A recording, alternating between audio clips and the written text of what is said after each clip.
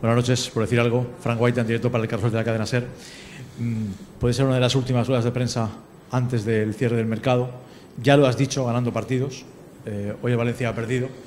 Mm, ¿Confías en recibir algo de lo que pediste en materia de fichajes después de un partido como el de hoy? Gracias. Bueno, yo creo que es algo que ya lo dije en su momento y no voy a estar insistiendo con este tema. Y yo creo, quiero hablar del partido hoy y centrarme en el partido, lo que hemos visto hoy. Y a partir de ahí, pues realmente quedan 4, 5, 6 días y para que se cierre el mercado y bueno, y espero que todas esas cosas pues se puedan ah, se pueda cerrar alguna, alguna situación. Señor Baraja, Jordi Osálvez, en Cero, eh, respecto al partido, el no, ser, el no ser contundente en las áreas eh, en, los momentos determinantes quizá del partido, en los momentos concretos donde se va hacia un lado o hacia otro, quizá ha sido fruto de una injusta derrota en el día de hoy. Bueno, a mí me, me, me, ha sentado mal cómo hemos perdido, cómo hemos perdido hoy, sinceramente, por lo que hemos visto en el juego, en el partido.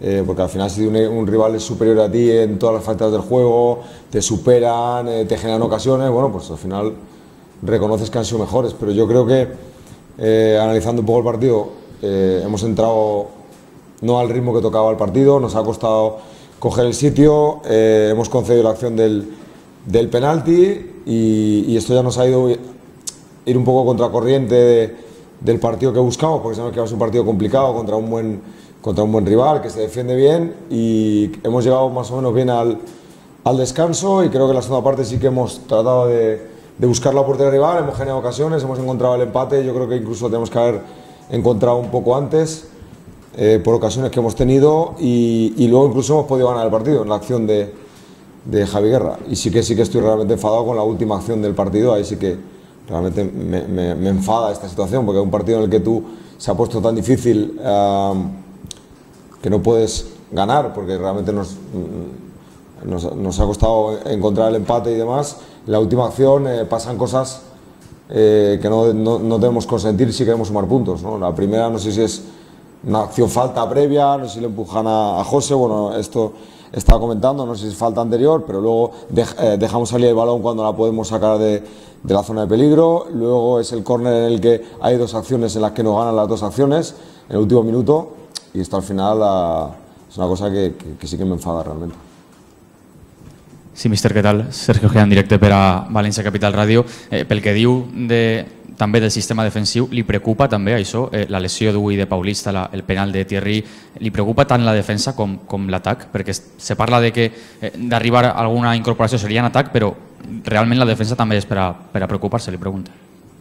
Pero tú qué es para preocuparte si nos han tirado dos veces en el partido? No, no, sé, no sé qué partido has podido valorar. Yo te digo, primera parte, Sí, pero bueno, puede ser una acción puntual de penalti, que puede ser penalti o no, no sé tampoco, la acción que yo he visto parece que toca un poco balón y también, bueno, es una decisión del árbitro y, yo no he visto que Osasuna nos haya asediado ni que hayamos tenido eh, un equipo que nos haya generado siete ocasiones en contra. Entonces, poner la duda sobre la situación defensiva del equipo me parece un poco atrevido desde mi, desde mi punto de vista, pero es evidente que la última acción no la hemos defendido bien y esto hay que hay que trabajarlo, insistirlo, porque, porque son estos detalles que en un partido, pues bueno, si no puedes ganar, pues suma un punto que nos había costado mucho eh, conseguirlo. El camino es largo y cada punto y cada acción tiene mucho valor uh, y es un, una cosa que, pues que, tenemos que aprender. Hoy, desgraciadamente, yo creo que el fútbol no ha sido justo por lo que se ha visto en el partido con el resultado, pero a veces sucede esto, así que hay que seguir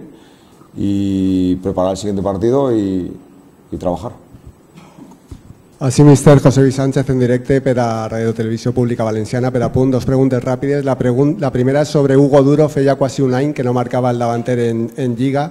Com creu que li pot vindre este gol a l'equip de, de, del fins ara únic davanter que té en plantilla?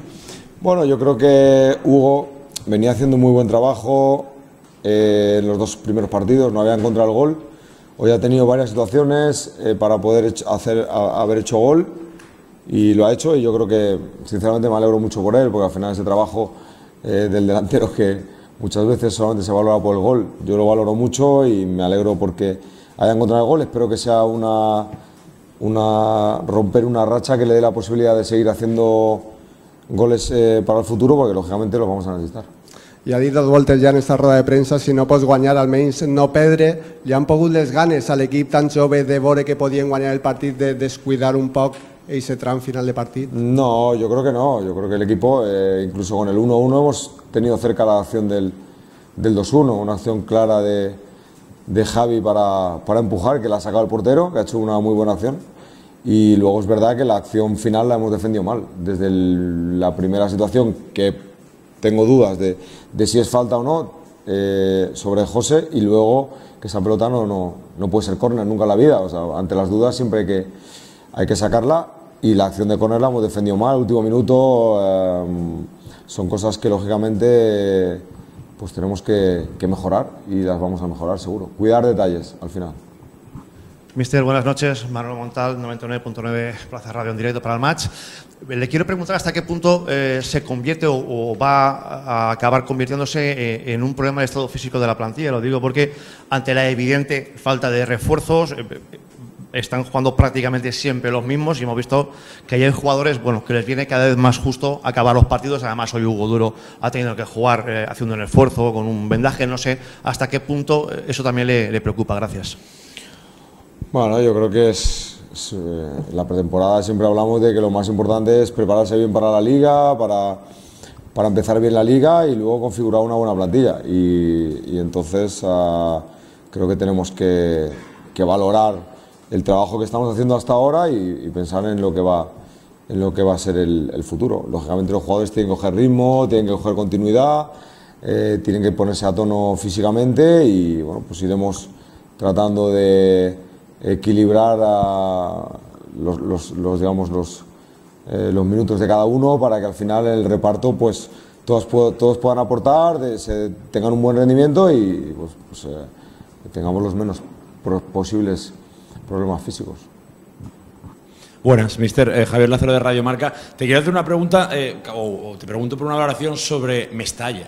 O sea, eh, eh, última semana antes de que acabe el mercado, el, el club viene donde viene el año pasado, el mercado de fichajes que, que está viviendo, y hoy por momentos, sin gran animación, ha aparecido una de las grandes noches, de, por, por cómo apretaba Mestalla.